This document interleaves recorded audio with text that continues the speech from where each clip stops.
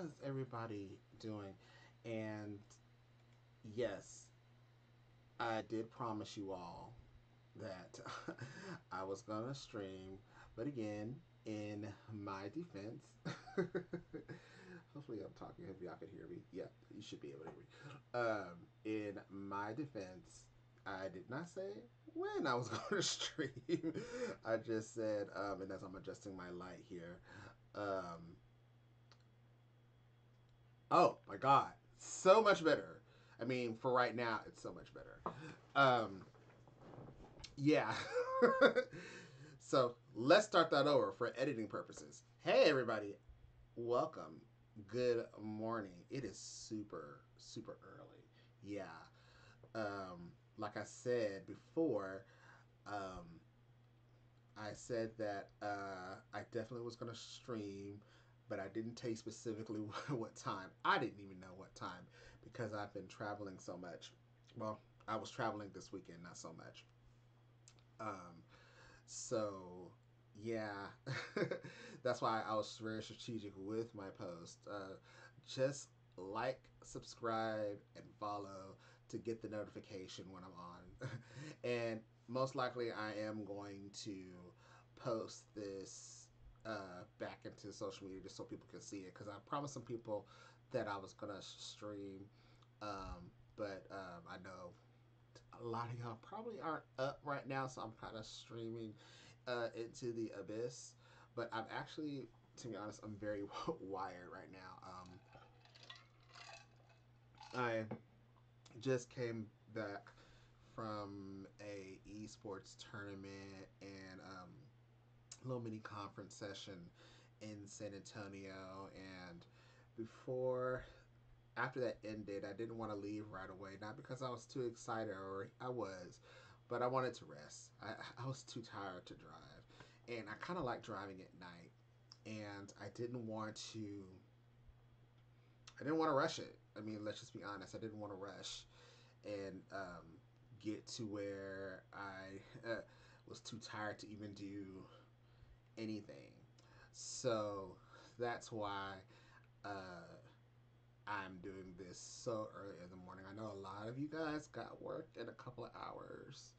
Um, I'm, like I said, I'm still wired. I am basically taking it easy tomorrow anyway. I'm not going to really do the most. so that's why I'm like, I'm just going to do it. Uh, and plus, that's about me. It's about me maintaining consistency, right?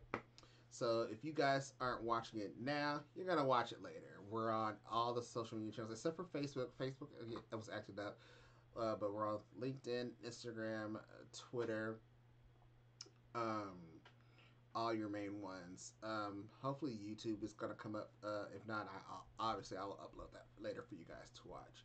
So, um, again, without further ado, let's go ahead and get to our What's Up in Gaming and do. I don't have a theme. Sorry. Maybe I'll get something. Who knows? but yeah, let's go on ahead and uh, put some of that out there. Just go through this real quick. So yeah, like I said, we had I had a panel presentation in San Antonio just now. Like I said, I just came back from that, and the focus was for me talking about, and the others that were on the panels. Uh, uh, want to say, uh, preparing students for pathway, a range of career pathways through esports. Um, special shout out to all the people who were on the panel. A great diverse group of people from all stages of of career sets, and not just in this panel session, but there were other panel sessions that were there along with the tournament where we were just all all talking about you know how we got into this space. And there's no one right or wrong way to get into it but we were there just giving special tips and things to think about to students and to parents about what it means to really be in this space and i especially want to give a special shout out to dr cliff Zintgraff. um, really, he gave me some really great insights, and I'm also gonna say this was really great because this is my first presentation, panel presentation, going in as a doctoral candidate. So I'm really super excited about that. So, so not only was this my first presentation panel session as a doctoral candidate, I got to sit sit next to someone that's already um, has their doctoral degree in this space. So that was very powerful. That's something that I can check off my um, my bucket list. I've presented with uh, doctors before, but I hadn't been that that close to that seat yet. So it was really awesome, and I think that was very powerful for people to see that oh somebody has this type of degree and that's in this industry doing this. So yes, it's possible to do whatever you want to do in this industry. You just gotta plan it and take it. So again, I can't wait to do more with um, the Play ES team. Thank you, NASA, for for allowing me to present my perspective uh, uh, on my esports journey and, and career pathways. And again, if any of you guys have questions about that, you know, you guys know where I'm at. Let's move on. This is pretty big. Okay, um, this happened, I guess, last week or the week before, and this is from the New York Times um, by Natasha Singer. I want to make sure I give her credits and and the company's credit where credit is due. So, in this article, uh, Florida's new law prohibits social media accounts for uh, uh, kids under 14, and it requires parental consent um, for them to, if they're if they uh, can be on social media, right? Make sure I said that correctly. Florida's new law prohibits social media accounts for under 14 and requires parental consent for ages 14 to 15. Okay, this is backed by Governor DeSantis from Florida, and it aims to protect young users online, but faces potential legal challenges. This is part of a wider effort towards safer online environments for youth. Youth. It's that's been a big concern. What does it mean to be online? What are we doing? Um, how can we uh, regulate this? Now, I'm not here to preach about this, being neither being for or against, but I'm just putting this out there. This is where we're at right now. Um, when it comes to social media, what do you all think about this? Is this something that needs to happen? Now, I will say that a lot of us are very tech savvy and we have ways to get around things. I'm I'm not promoting anything, but I've been in this space long enough um, so I'm very curious to see how far this is going to go, of what's going to happen, um, how how far uh, nationwide this is going to get. Um, hopefully, we'll keep following this story. Uh, if you want to read more about it, I have the highlights here.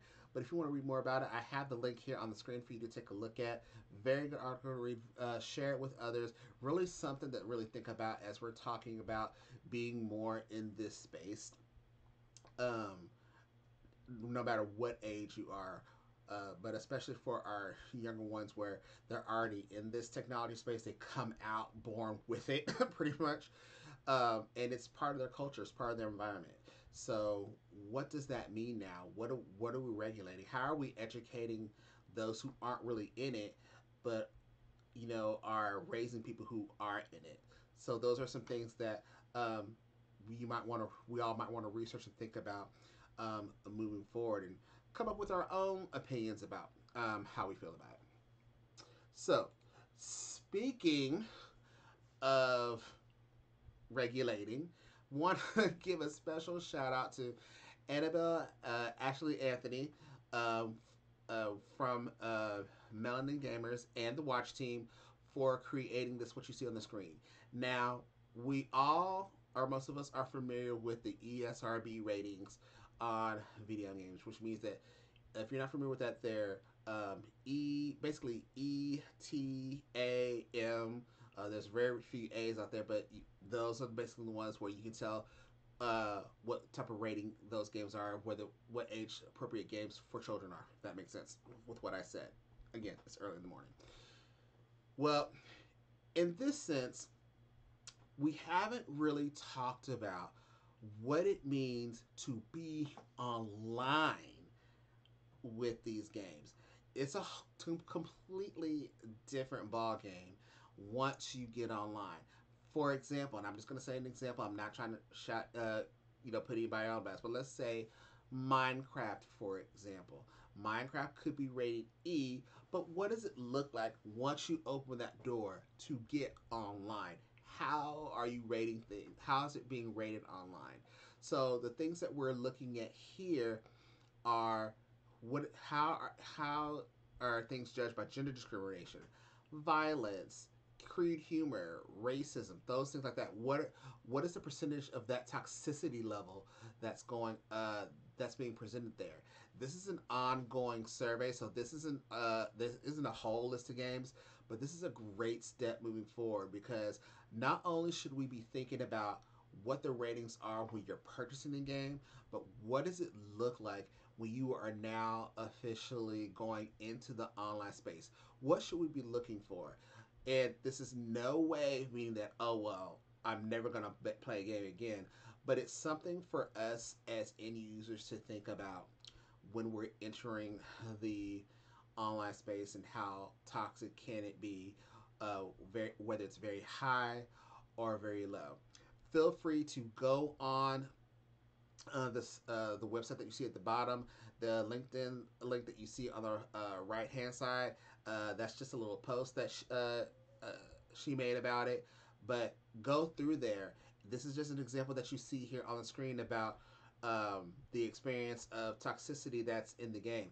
Again, this doesn't mean that you should never play these games. It is just to prepare you for what you're about to enter into it once you get into this space. This is something that I feel that's been a long time coming. Um, and I think you could put more of your input here. Again, this is still ongoing. They're, they're still working on some things, but this is great. Again, special. You know, I got to give another round of applause for that one. So, th- this is amazing. So this, this is the kind this is the kind of thing that needs to be spread around. So go on the site if there's a game that maybe you feel like oh I, this really needs to be rated. Maybe send them a message and say hey are you working on this? I would love to see your take on what the toxicity level is um, online. Great start. Great start. All right. So, as I told you guys before, I am a doctoral candidate. And what's been floating out there um, is I'm looking for educators. Let me make that clear. Educators to fill out a questionnaire about video games and education. How do you feel like it's being impacted in education?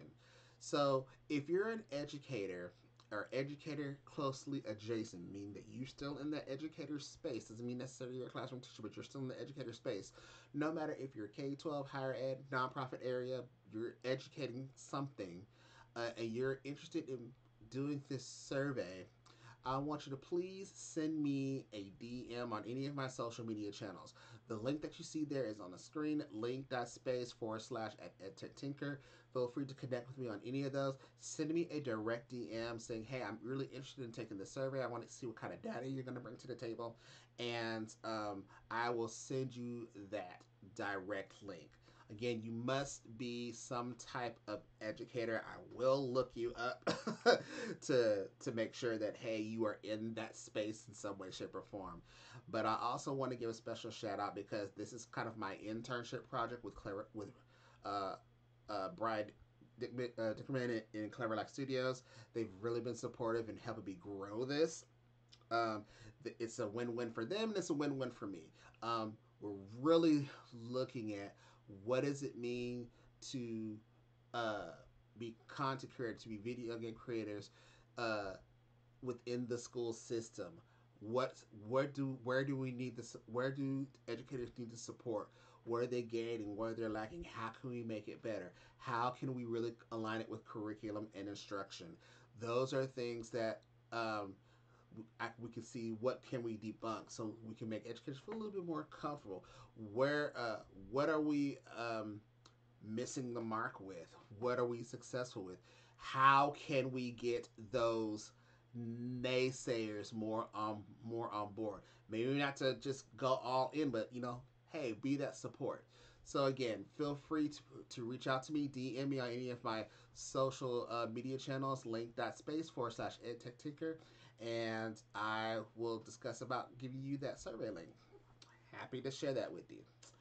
And again, once again, if you have any gaming or technology news that you want to share, hey, follow me. Uh, send me a DM. Um, I'm more than happy to see uh, what's going on in the space. I can't do it all. um, but I'm more than happy to share your news, news that you think is relevant, that needs to be spread out more, no matter if it's uh, gaming, esports, technology, ed tech. I'd love to hear about it. I love to share articles and summarize if something there's, if there's something that's great that you're doing that's of significance. Love to share it. So that's all for the news right now. That's all of what's going on in gaming and tech until the next two weeks, hopefully. All right, so now it's time for the fun stuff. Aren't we all excited? Let's go ahead and we're gonna get into that. We, um, ooh, I'm gonna turn down my um my TV because it's kind of loud. But um, we're gonna get into it, ladies and gentlemen. It is time for us to play some Luigi's Mansion, and I don't remember. I, I always say that I don't remember where we left off, but um, I know uh, we're in a we're in a good spot. I know we're in a good spot. I know we're in an area where um, I might just go ahead and just mute this regardless. And make sure that uh, I'm being heard on my headphones because I hear myself through the computer. But let's just switch a switcheroo here.